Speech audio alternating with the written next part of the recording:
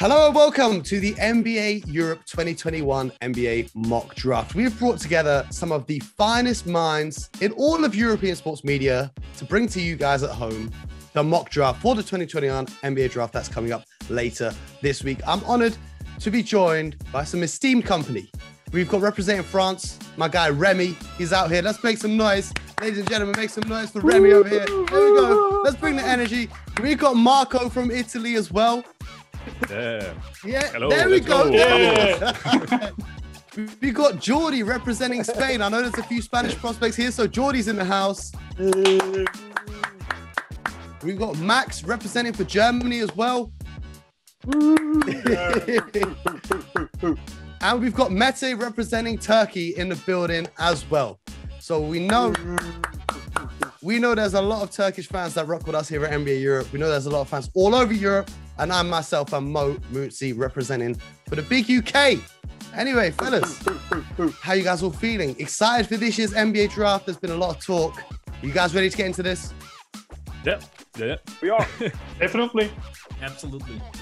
All right. First of all, so the picks, all of our names have been put into a random generator, and we've been assigned three teams each that we're going to be picking on behalf of. The number one pick in this year's NBA draft for us is going to be selected by Jordi. He's going to be picking on behalf of the Detroit Pistons. Before Jordi makes his pick, I do want to say on a more serious note, rest in peace to Terrence Clarke, who was a prospect that was looking at this year's NBA draft, who unfortunately passed away earlier this year. Him and his family are in our thoughts and prayers. But let's get into it now. The number one pick in the 2021 NBA draft on behalf of the Detroit Pistons. Jordi, take it away.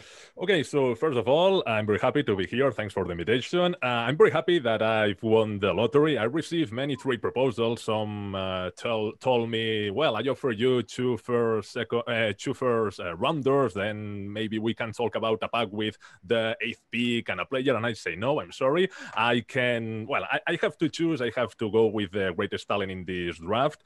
A man that can do everything in the court. I love his combination of size, IQ, skill. He can score. He's a playmaker. And yeah, I don't mind if I need to improve one position or another. I always have the mentality draft for talent. Then if I need a wing, if I need a center, well, I, I will solve the problem later. So with the first pick of the 2021 NBA draft, I will go with Cade Cunningham. The future is bright in Detroit. I imagine a starting lineup with Cade Cunningham, Killian Hayes, Stewart, Sadiq Bey, well, um, last year, last season, I think, if I'm not wrong, uh, Sadiq Bey and also Stewart were in the all. Well, uh, Sadiq Bey was in the All NBA rookie team, and Stewart in the second uh, All rookie team. So the future is bright. Yes, uh, they the last years of Detroit were bad. The playoffs are like the uh, impossible mission. But uh, in a few years, in the near future, I think that Detroit Pistons fans they are gonna have a great smile in his in, in their face. I don't think there's any surprise there with the number one pick, Cade Cunningham. How do you see that backcourt fitting with the other European lottery pick from last year, Killian Hayes? Well, uh, there are many questions. Uh, some people say that uh, Killian Hayes and uh, Cade Cunningham, uh, the, this uh, great couple, the great pair, sorry, the great duo, can work. And other people say that some people say that this is not going to work well. So maybe it's an option to trade Killian Hayes. But I have optimism in with this team. And well, we have to have patience. we cannot expect great, res- great results in next season but maybe three, four years, well, in a long-term, long-term period, the Detroit Pistons, uh, maybe they can think uh, the, the, the playoff uh, scenario will be very realistic. Now, I know Marco, who's selecting the number two pick on behalf of the Houston Rockets, was hoping that you would maybe surprise people and not pick Cade. So, Marco, you're on the clock now. Tell us who you're going with that second pick for the Houston Rockets. Well, it's not really much of a surprise there. But if Cade Cunningham is number one, I think the number two has to be Jalen Green.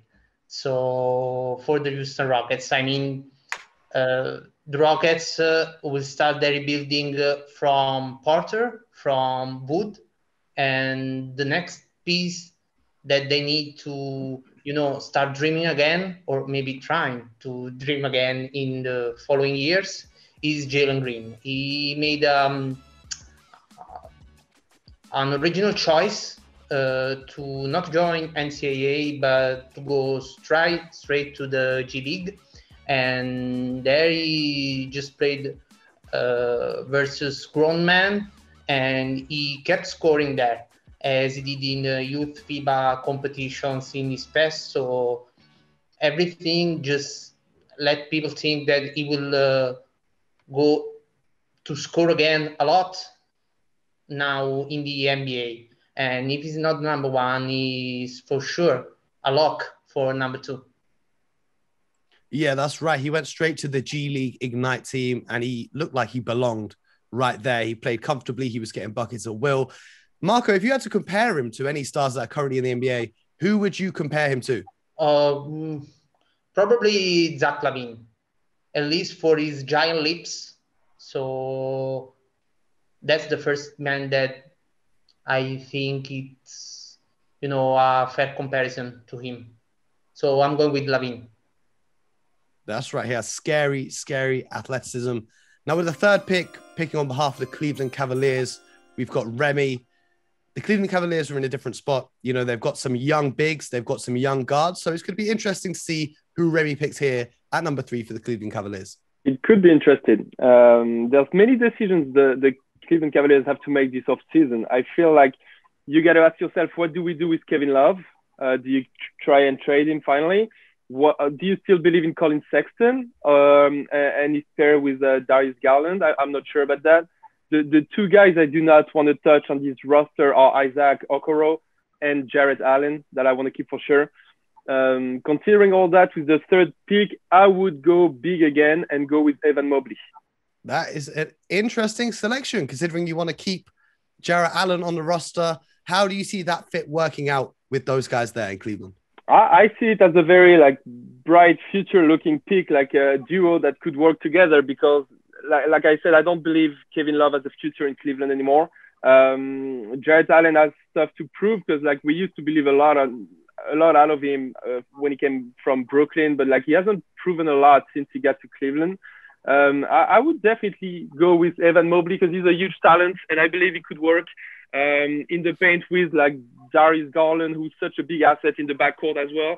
Um, I, I think this is something that could work. I absolutely love the pick. Coming in at number four, representing the Toronto Raptors, who not long ago were NBA champions, and now here they are picking in the draft lottery. Mete, who are you taking with that number four selection for the Toronto Raptors? Actually, I was waiting for a surprise from Rémi. Maybe he would pass Evan Mobley, but he didn't. So uh, my pick's going to be Jalen Suggs from Gonzaga. Uh, we don't know what Kyle Lowry's future in Toronto is going to be, but uh, if he leaves this summer, I think Jalen Suggs could be his successor. At six foot four, he has a nice build for a point guard. He's smart, athletic, uh, fast, and ready to contribute right away. He has a very high basketball IQ, and he understands when to shoot and when to move the ball to a teammate. He's a pass first guard, but um, he's also capable of playing shooting guard. Uh, on defense, he's a top player who wants to lock the other team's best player. Uh, he has excellent anticipation in the passing plays, always looking for steals, also likes to fight for rebounds. So um, I think he's an NBA rated player who can flourish playing next to Fred VanVleet. I mean, like I said, if Kyle Lowry leaves, and uh, he can become an all star level player in time if his special three point shot becomes more reliable. That's right. You know, we've also seen how great Toronto are at developing their young talents yeah. as well. So it's going to be interesting to see if they do go down that route. If, if you're the GM and you pick Jalen Suggs, how much he's going to learn from Fred VanVleet and the coaching staff there in Toronto. We're going to go to Orlando for the number five pick with Max. Now, Max, I'm watching you very closely because I've got the pick after you. So I'm very interested to see who you take with this number five pick because I've got a couple guys on my board right now that I got my fingers crossed that you're not going to pick. So tell me who you're taking it's not easy, but I don't need to think for a second because I want to build a defense monster in Orlando in Orlando in the next years. So I'm going with, for me, in my opinion, overall the best defender in this draft class, Scottie Barnes. Uh, can guard one, two, four in small ball lineups, even the five, good vision and passing abilities for his size of player. I hope he will improve his rebounding and skill set offensively I guess at the moment you need to get a little bit creative with him in half court settings, but I believe in this guy. And when I'm thinking about a lineup with Jonathan Isaac and Scottie Barnes, I start to worry a little bit about the other teams in the NBA. And so I'm going with Scottie Barnes. Man, I'm I'm very upset you picked that because that's what I wanted to steal at number six. Do you worry at all for Orlando in terms of scoring the basketball? Because a lot of people have compared Barnes to a Draymond Green type player, and we all know that's not the recipe for scoring. And they've got a lot of defensive mind players. Do you worry about where the offense is going to come from for the Orlando Magic? What's so funny about our mock draft? I got their eighth pick, so I will pick later again. And sure, I will try to pick some shooter. Today, I'm a little bit Orlando Magic GM yeah, sure, his uh, shooting uh, will be a problem, uh, but um, nothing I really worry about that because his defense is so incredible. I always make this joke he is Draymond Green, but in big because he is so tall and his wingspan. I believe in this guy. And uh, about shooting, I will worry later. well, I was hoping to pick Barnes at number six for the Oklahoma City. I believe. I'm selecting for them now, so I'm going to have to look further down my draft board. And the player I'm about to pick now at number six, um, obviously, you guys know, coming out of London, representing the UK, as soon as I see a player being compared to our local legend, Luol Deng, you know that pulls a heartstring for me and I get excited. So I'm going to go for maybe a little surprise pick uh, because he was a highly rated prospect before, but he's flipped down the draft board a little bit over the past season playing in the G League. I'm going to go with Jonathan Kuminga. Come because on. OKC, and there you go. Athlete beast. You know, you know, you know, OKC have got so many draft picks. I feel like they can afford to be the team that takes the chance on a teenager who's still got quite a raw skill set and gives them the chance to develop him because he does have star potential, even though he might not have looked like it earlier this season. And I think playing a two-man game with Shai Gilgeous-Alexander creating a lot of switches for the opposition team's defense is going to be great. And defensively, we've seen throughout the NBA Finals how much of a benefit it is for a team to have a big man or a bigger body that can be versatile and guard on the perimeter as well. So I'm going to go with Jonathan Kuminga with the number six pick. How much you wanna ask- worry about his shooting numbers? I need to ask you. I do, I do worry, but this is why the benefit of OKC being in a complete rebuild, it gives him the chance to get in there, work with an NBA coach, and have a couple of seasons to find his rhythm and find his form. Because I believe he would struggle maybe going to a team that was looking to push for the playoffs or you know looking to make a run and an improvement. But with OKC, they're just collecting draft picks, and you saw it last year with Pokuševski. They could afford to take uh, a kind of a raw prospect and give them the playing time that they need to get the experience. So I'm going to ask Rémi now with the number seven pick, picking for the Golden State Warriors, who are perhaps in a completely different situation to OKC because OKC is in a complete rebuild. But Golden State have got Klay Thompson coming back healthy. They've got Steph. They've got Draymond. They're looking to contend for a championship next year. So who are you going to go with with that number seven pick? All right. First off, uh, Mo, let me tell you that I do not like you because I wanted to pick Jonathan Kuminga with my pick. So you just messed up my whole board right here. But anyway, Hey, hey, don't don't blame me. Blame Max for picking Scottie Barnes. You don't blame me. No.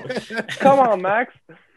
Anyways, um, considering all that, uh, the Golden State Warriors, we're going to be picking twice in this lottery, like with this pick, number seven and number 14. So, in case we decide not to trade those picks earlier uh, in the day, uh, with the number seven pick, I would like to go with James Bouknight from the from UConn, who seems to be an intriguing uh, prospect at the shooting guard position. He's shown a lot in his uh, NCAA season, even though he's been injured at the start of the season.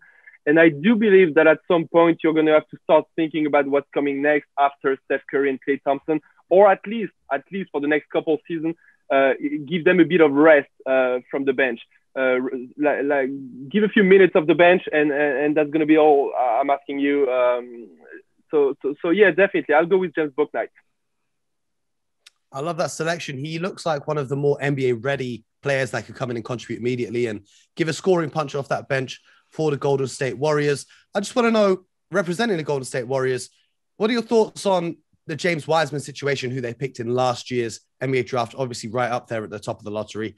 Do you think the Warriors are going to try and keep hold of Wiseman and develop him, or do you think they're going to try and trade him we might see a draft night trade coming up? Man, that is the right question to ask. I, am a huge believer in James Wiseman. I believe he's going to be a great big man in, in the NBA, and some franchise is going to be super excited to have him. The problem here is the Warriors. They have a short window if they want to win again, and uh, and you're not going to win again with James Wiseman. So if you do want to make a move, and we all know that the Warriors are somehow looking into making a move uh, these days, like you're going to have to trade Wiseman and either one or both picks you have in this first round to get a superstar in exchange for it. So uh, I, you know what? I would be surprised if the Warriors did not make a move. Now we're going to go back to the Orlando Magic general manager Max. Now Max, I'm going to have to remind you again. You're picking now. I'm going to pick after you at number 10. So we're going to stick with you for number 8, but I'm once again crossing my fingers hoping you don't take one of my guys. But representing the Orlando Magic, who are in their rebuild, You've talked about you've already got some great defensive players that you want to add some shooting or some scoring. Who are you going to take with the number eight selection in the 2021 NBA draft? Ah, give me some seconds. It's all good. Take your time. Take your time. But Do this, you have any? Uh, but this year is so amazing. from the panel? How many Don't great guard the guy defenders supposed to be the ninth. I've got the ninth, so don't pick him. I'm just helping you. But this year is so amazing how many great guard defenders we have in this draft class. I like the potential and energy from many of those guys. Uh, but I need shooting and I need, again, a good defender. And so I choose with this pick Moses Moody, really good all around defender with quick feet and perfect wingspan and great shooter, smooth mechanics, uh, especially from the corner. Fantastic on spot three point shooter.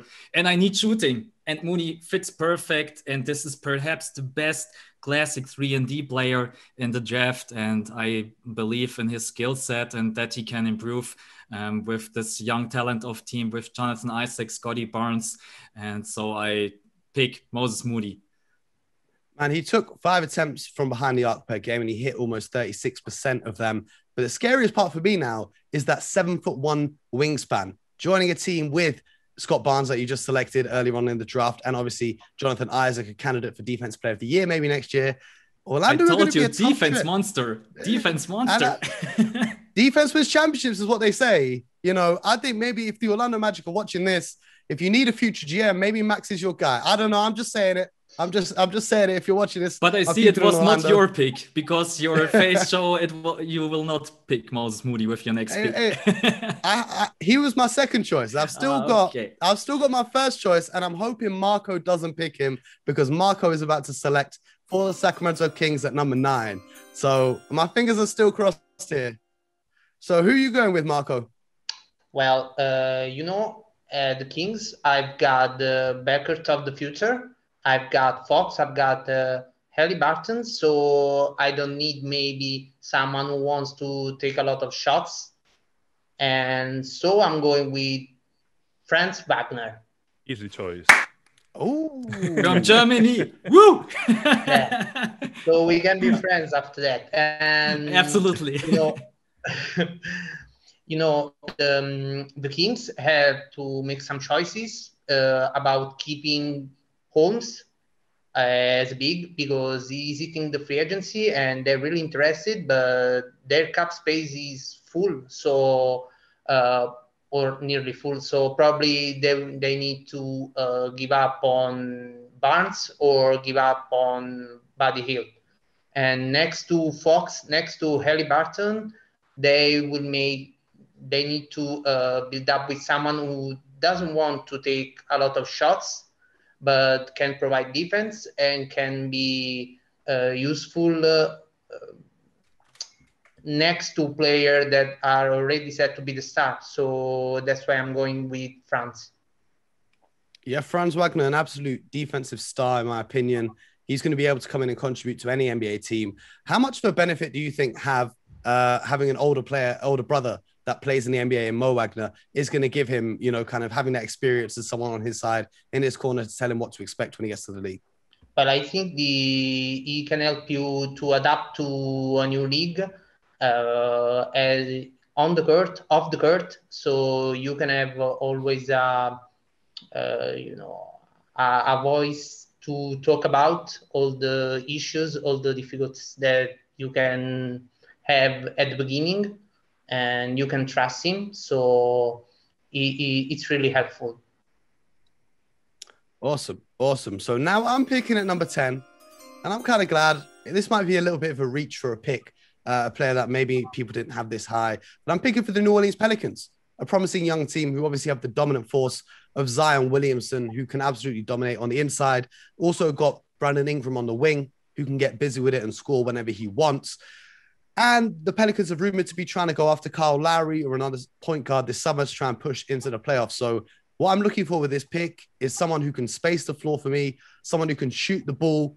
And, you know, in the NBA right now, first round picks, even second round picks are so valuable because they're cost controlled on that rookie scale contract. And I need a shooter, and shooting is at premium. So I'm going to select Corey Kispert, who shot 44% from three. He's an absolute knockdown artist from behind the arc because now when Zion is on the inside drawing the defense or Brandon Ingram is commanding double teams, he's going to be open in the corner or on the wings. He's going to be able to knock down those shots. He's got a high basketball IQ. I see him as a player who could potentially one day maybe even join the 50, 40, 90 club if things go well for him over in New Orleans. So I'm taking Corey Kispert to give myself some shooting and some floor spacing. And I'm going to ask Jordi with the number 11 pick. The Charlotte Hornets also have an exciting young prospect in LaMelo Ball. Who are you putting with LaMelo Ball in Charlotte to carry that franchise into the future? Well, I love the Charlotte Hornets team. Very young team, very fun to watch. Uh, I love Lamelo Ball. For me, it was the the Rookie of the Year uh, winner. I uh, we know that Anthony Edwards uh, did an amazing job last year with uh, Minnesota Timberwolves, but mm, I think that I'm gonna go with uh, power forward center, a man that can help inside the, the well, there's positions. Um, I think that I'm gonna go with the next. Richaun Holmes is a player compared with with JaVale McGee. Also, we are talking about a long guy, quick, bouncy. Uh, he also he always um, um, he uh, is doing a great activity, uh, great activity and productivity around the rim. So my man will be Kai Jones. He has all the tools to be an interesting player. I'm imagining right now the connections, the alley oops with Lamelo Ball. Uh, physical player can shoot. Also, uh, he can um, defend multiple positions. He has to work in uh, other aspects of his game. But uh, yeah, I think that this young talent, this young guy, can help with this project, the Michael Jordan project. And last year it was it was a pity the injuries of Lamelo Ball, Gordon Hayward. Maybe if they were healthy, we well, maybe we can talk um, uh, Hornets being a playoff team. So let's see, let's see what the future brings to that amazing and interesting team. Jordi, you're trying to make sure that the NBA top 10 plays of the night is just 10 plays from the Charlotte Hornets. With that pick there, Kai Jones, absolutely great in transition or running the yeah. pick and roll and finishing those alley oops. And who better to pass those alley oops up to him than LaMelo Ball? So I'm excited to see if that pick gets made. But I pick number 12, San Antonio. Mete, who are you going with for the San Antonio Spurs? Well, first of all, let me say that I'm not doing any favors, but I'm going to pick my countryman, Alperen Şengün, with this pick. Uh, like I said, not just because he's my countryman, he is really one of the best centers in this class, and I think he's a good fit for San Antonio. At only 18 years old, you know, he won the regular season MVP award in Turkish Basketball League, which is one of the top three leagues in Europe. Uh, he's a traditional center has outstanding footwork down low and very effective post-up skills. And I personally like traditional centers. Uh, he's a dominant interior scorer. He has soft touch for his size. He can dunk. He can finish pick and rolls and get to the free throw line. Um, his dribbling is already impressive for a big, and he passes the ball well, creating opportunities for his teammates. And you know what? Uh, after the season was over, uh, he worked with Mehmet Okur, uh, who's arguably the best player uh, in the history of Turkish basketball. And I see glimpses of Okur's game in Alperen. Maybe he doesn't have the three-point range and uh, threat of Okur right now, uh, but his shooting mechanics are solid, and I think he will eventually improve and add three-pointers to his already impressive arsenal. So, and also the Spurs are, you know, known for drafting international talent and improve them. So I believe that uh, he will be a great addition to the Spurs, who lacks offensively effective low post players. Now, are you surprised that he was still left on the board at the 12th pick? Actually, I'm surprised. You know, I thought maybe at nine uh, he would be selected by the Kings. Uh, I was hoping he wouldn't be drafted uh, so that he would fall into my lap. and here we are. Um, you know, obviously being that post up presence, he can pass and make plays out the yeah. post, but also score with his back to the basket. We saw how well the San Antonio Spurs dominated decade after decade with Tim Duncan down there on the block.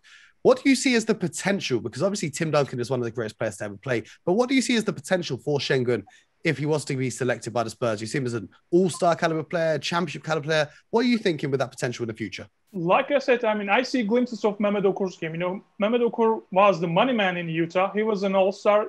I mean, he would continue his career if he wasn't injured uh, at, while he was playing for the Nets. Uh, I mean, San Antonio is a good fit for him. Uh, I think he'll improve uh, his outside, outside shooting. I think which is a must for him in today's NBA. He has to have a three point shot. Uh, like I said, he has the tools, he has the uh, skills, ability uh, to improve, and he can become an all star. I can see him down the road in five years. I mean, I wouldn't be surprised if he becomes an all star.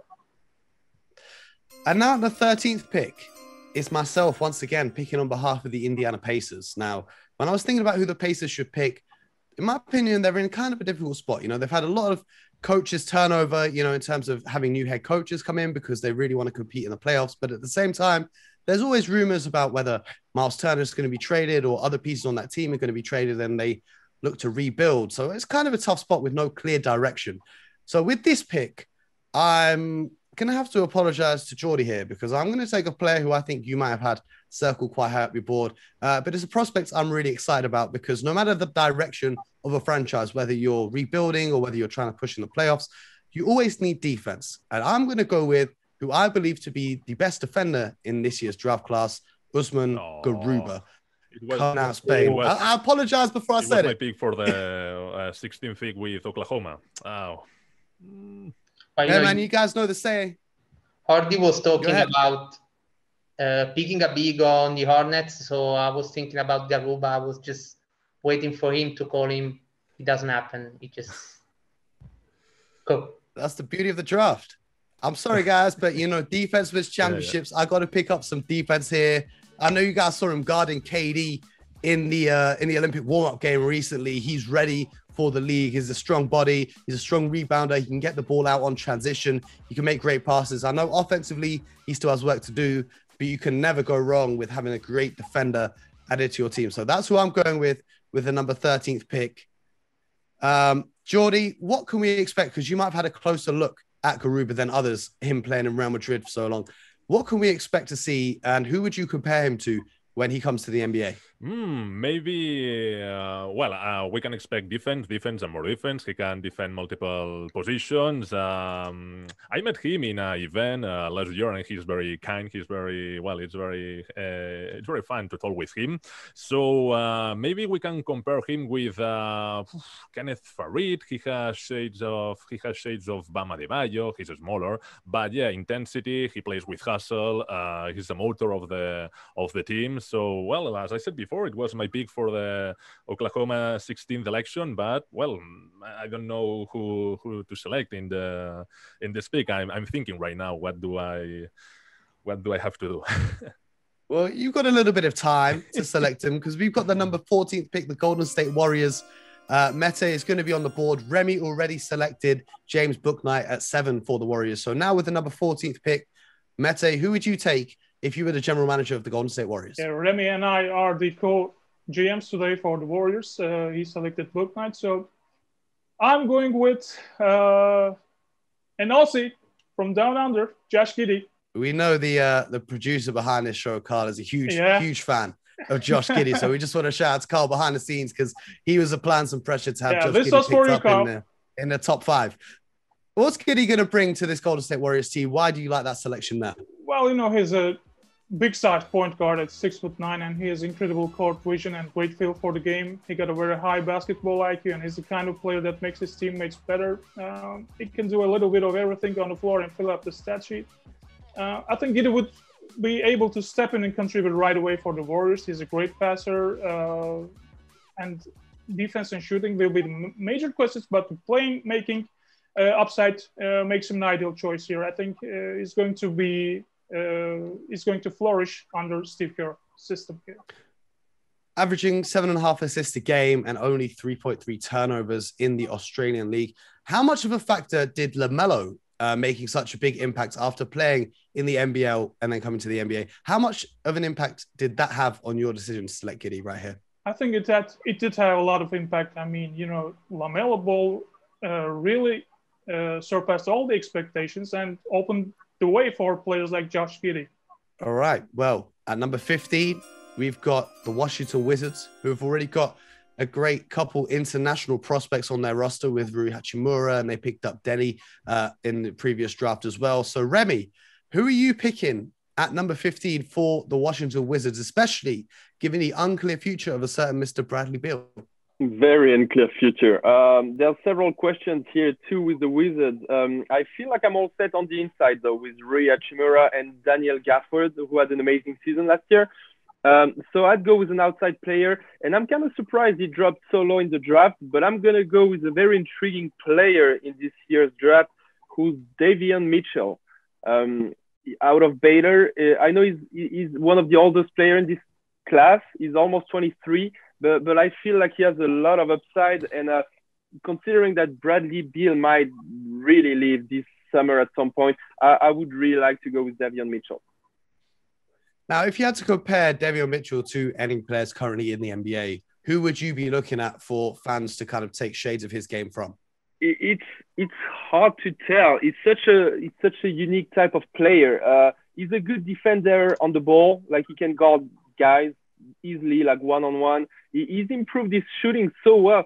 Gosh, I, to be honest, I don't even know who I could compare him to. He's just he's a he's a very strong, like physical dude and um, I don't know, like pairing him at practice with Russell Westbrook is going to be fun. Man, well, you know, after watching the NBA Finals and seeing the impact Jrue Holiday made, when I watch Mitchell fighting through those screens on the pick and roll, you can see that he's going to be able to make a fantastic contribution in the NBA. But Jordi, you've had some time to think now. The number 16th pick in OKC. I did pick for OKC earlier, and I took Jonathan Kuminga. So who are you going to select with the number 16 selection? Well, I think that I'm going to surprise you all. My first uh, choice was uh, was uh, Usman Garuba. Also, I had um, a Sengun.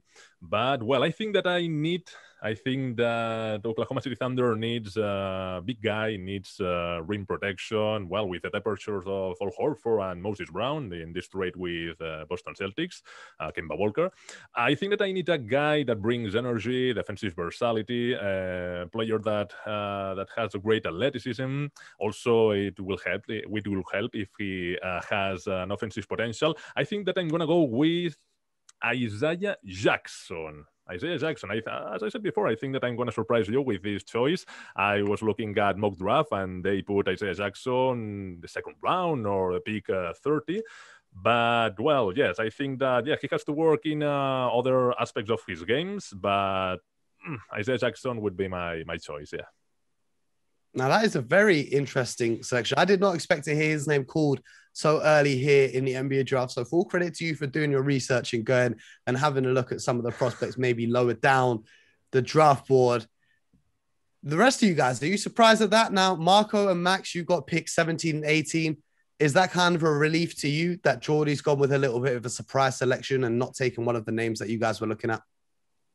Uh, well, yes, it is, but I think the Thunder right now is the best place to develop players because they got plenty of times, so they can uh, try their way with the raw talents uh, and have all the patience to, uh, you know, wait for their growth.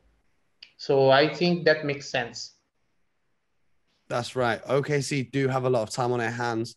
The Memphis Grizzlies, however, at the number 17 pick, well, they're already fighting for their spot in the playoffs. You know, they were in the play in, they're looking competitive with their young squad. So, Marco, Talk to me, my brother. Who are you going with with that number 17 pick for the yes. Memphis Grizzlies as they try and make the playoffs in the West?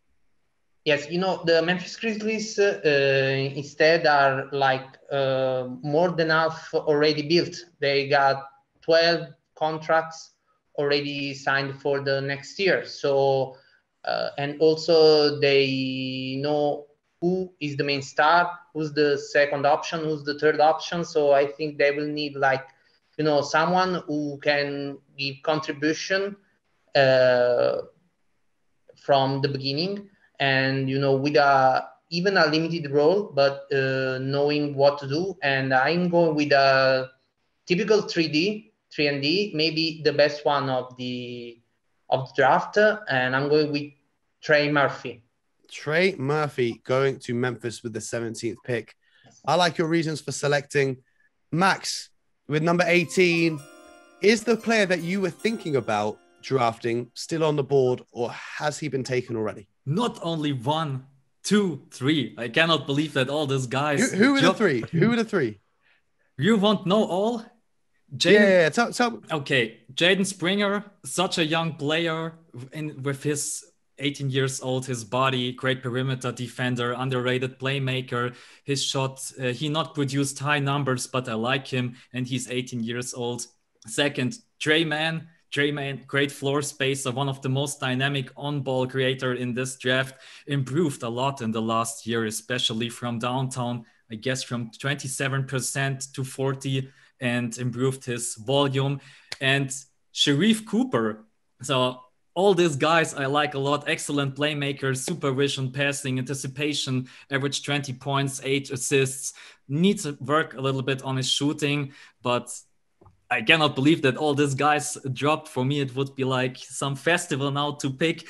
well, who are you going with? Let us know. Let us know who you taking with the number 18th pick in the 2021 NBA draft on behalf of the Oklahoma City Thunder. Ah. I guess we need some shooting, so I go with uh, I'm going with Tre Mann because he has a deadly pull-up three, and like I told, increased his volume in the last year. Uh, can also play off the ball, underrated rebounder. I love this guy, and I want to see him in Oklahoma City.